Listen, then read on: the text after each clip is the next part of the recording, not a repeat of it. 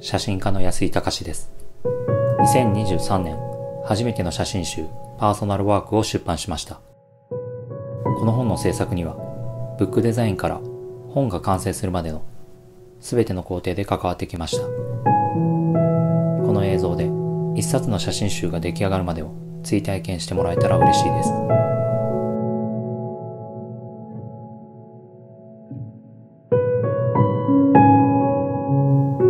写真集を作ると決めたら実際にどれくらいのサイズにするかどの紙を使うのかを決めます。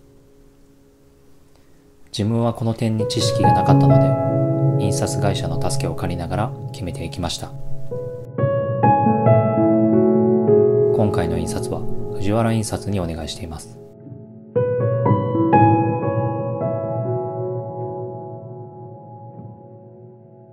打ち合わせをしてサイズと紙が決まったらつかみ本といって何も印刷されていないサンプルの確認をします。本の仕様がイメージできたらあとは印刷用のデータを完成させます。印刷用のデータも今回は自分で作ることにしました。Adobe の InDesign というソフトを使用して写真をセレクト。台割りを考えていきます。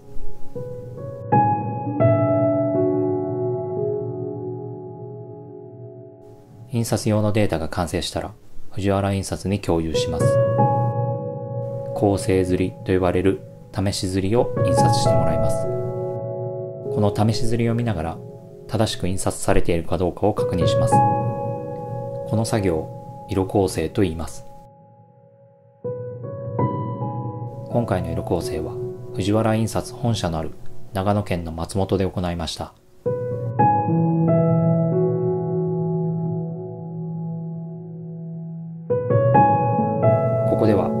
パソコンの画面と紙の上をつなげる職人プリンティングディレクターの花岡さんと一緒に作業します。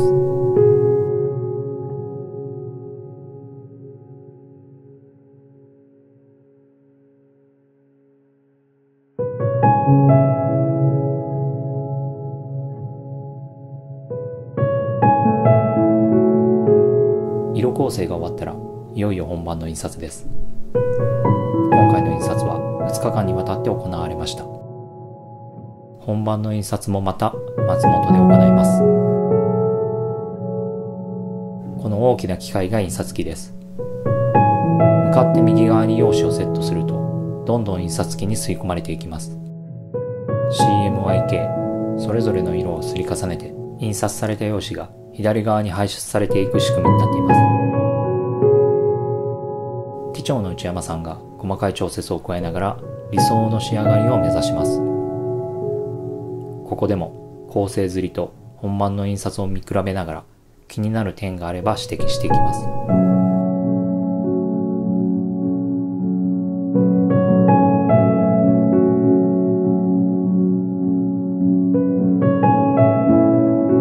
印刷が終わったら次は製本です。これは白押しの機械。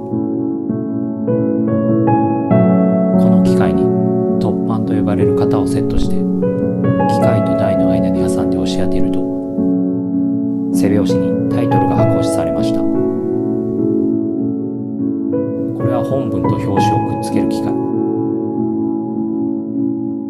裸で心もとなかった本文が表紙をまとってベルトコンベヤーを流れてきます。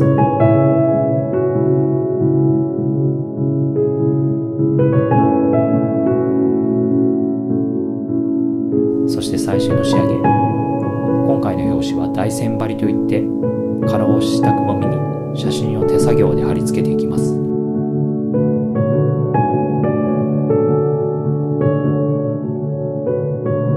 今回制作してみて本というものは多くの方が関わって出来上がるものだと実感しました。想定や厚み重みページの擦れる音匂い物としての存在感これらすべて感性に働きかけてくれる情緒的な価値があると思います。この写真集が日本はもちろん世界中の誰かの本棚に収まることを願っています。